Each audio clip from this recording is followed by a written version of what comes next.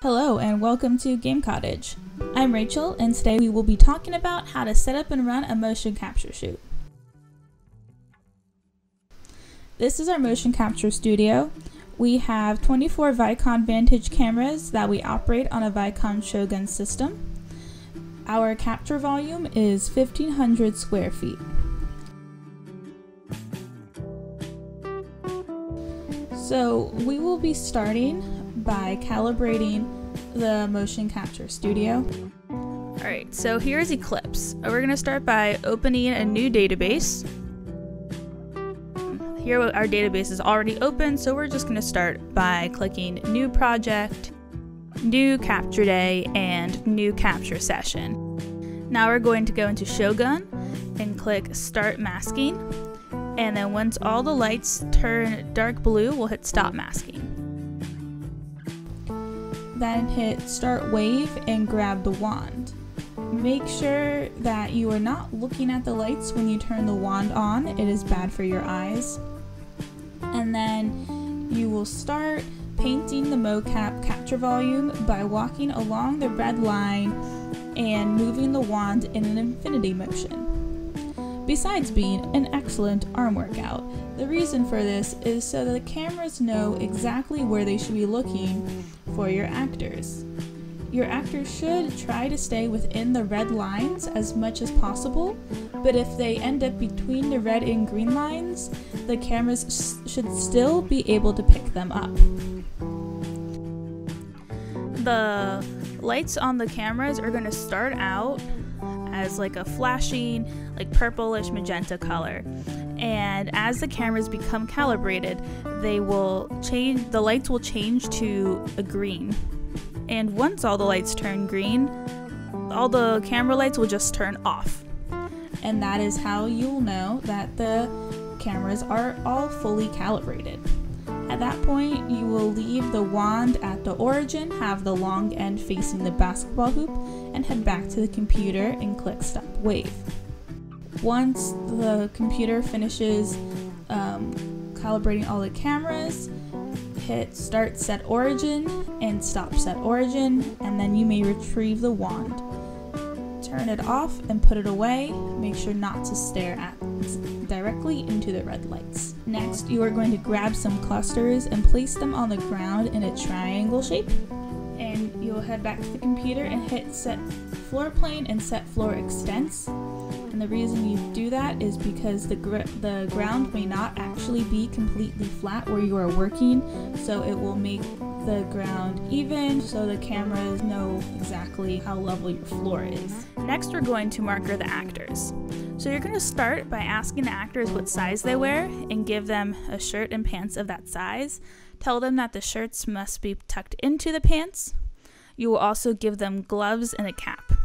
You will then use Velcro strips to tighten any loose pieces of fabric, as well as making sure that the pants are securely fastened to the shirt. And you will also put the Velcro strip on top of the zipper at the top of the suit as well as across the bra line. Now you can start placing markers on the actors. So you're going to put one on top of the zipper in the top of the suit and then one on each shoulder. Uh, these three must be in a straight line. You will then also put a marker on the bra line and then three along the hips.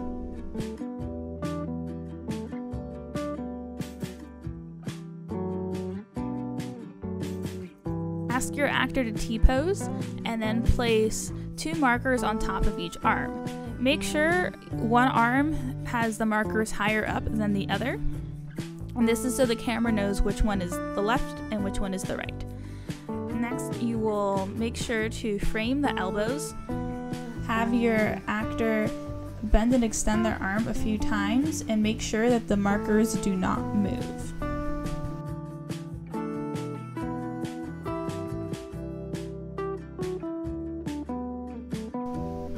One marker on each side of the wrist and then use one marker to frame the index knuckle and one to frame the pinky knuckle.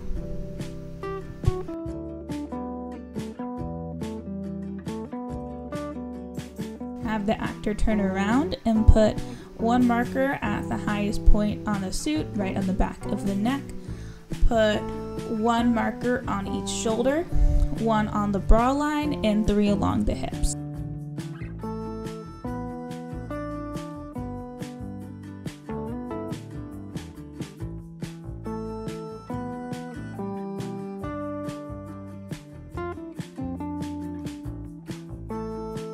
One marker on the top of the head, one on each temple, and then two on the back.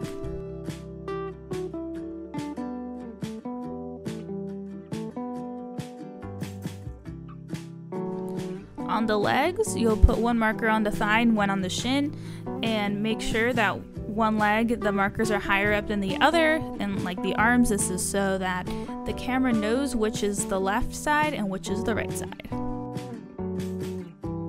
and you can have your actor sit down and frame the kneecap. Have your actor kick out and bend their leg a few times so that you can make sure the markers on the knees do not move.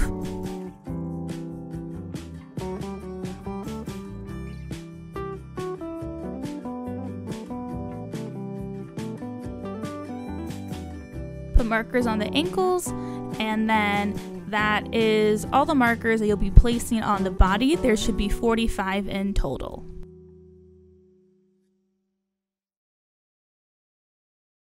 Next, we will be markering the fingers. The finger markers should be placed right below the fingernail.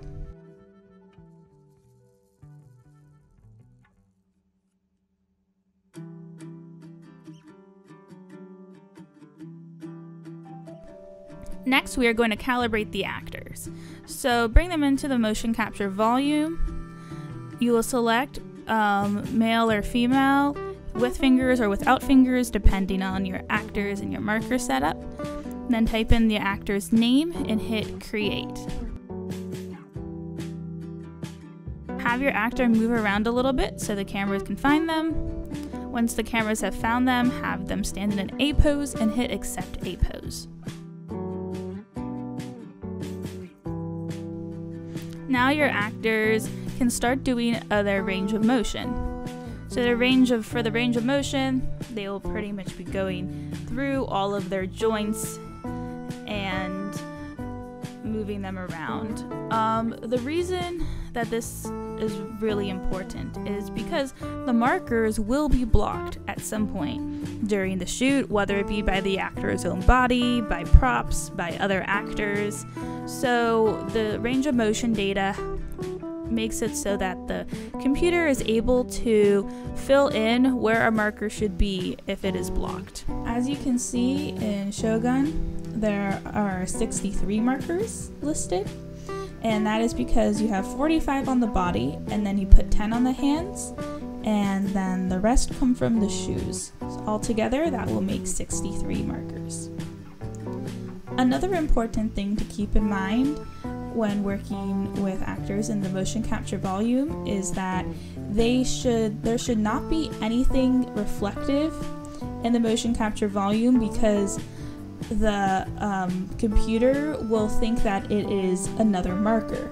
So the only things that should be reflective are the markers. Anything else, like jewelry, watches, like um, sometimes like belt clips and stuff, should just make sure that all of that is left in another room so that the cameras don't accidentally pick it up. Hit stop calibrating when your actor is done and then you can change the color of the suit in Shogun to match your actor's favorite color. As you can see, there's some flickering going on, and that's because there are multiple actors currently checked. You should, whenever you're um, working, make sure only the actors that are currently in the motion capture volume have their boxes checked. Otherwise, you will get this flickering motion. So once I uncheck it, the flickering will stop. Now we can start recording. So have your actor start in a T-pose on the origin, um, type in the name of the motion, hit start capture, and tell your actor mocap rolling. Your actor can then do whatever motion they need to do, and when they are done, they can stop anywhere in the capture volume, but most must face the front and T-pose. Hit stop capture, And then your actor must return to the origin in T pose before starting their next emotion.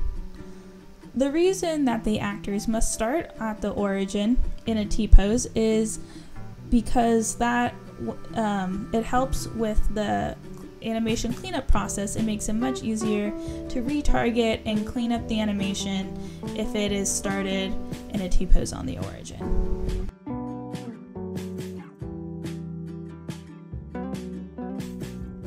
Also, if you accidentally have more than one actor checked while only one actor is in the motion capture volume, when you bring the data into your animation program, you will have a skeleton just lying on the ground, which is another reason why you have to be careful and make sure that only the actors who are currently in the volume are checked.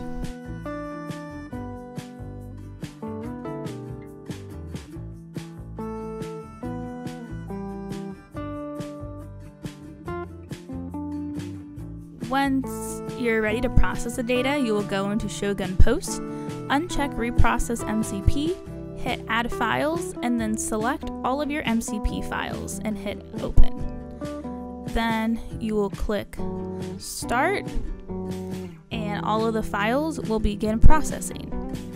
This can take a while, but once it is done, all of your MCP files will be have converted into FBXs, which can then be dragged directly into Motion Builder or Maya or whatever software you are using to clean up your motion capture data.